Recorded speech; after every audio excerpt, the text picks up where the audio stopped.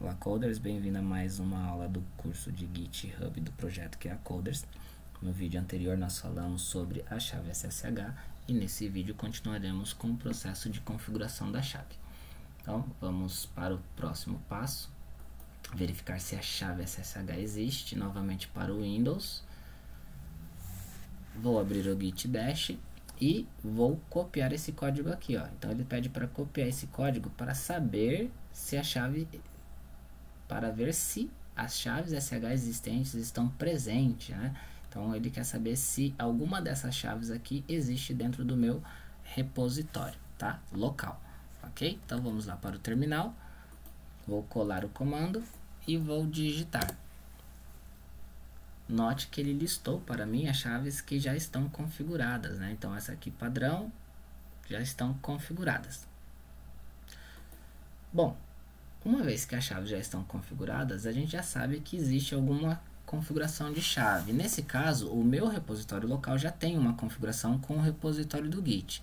Porém, para essa videoaula, eu criei uma conta nova no Git para a gente poder configurar uma nova chave aqui para a gente utilizar lá naquela conta que foi criada, ok? Mas é só a fim de demonstração mesmo, tá? Então, o comando ls-al lista, né?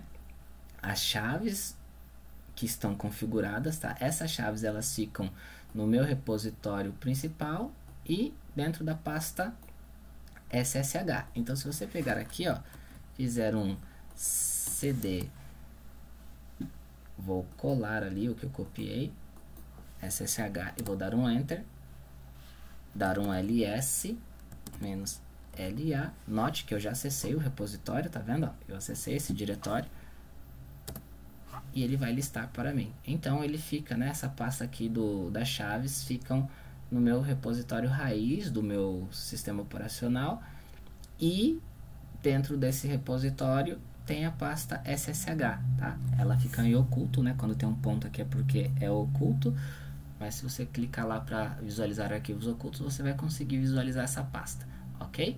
Então, aqui é onde fica armazenadas as chaves SSH no seu sistema operacional.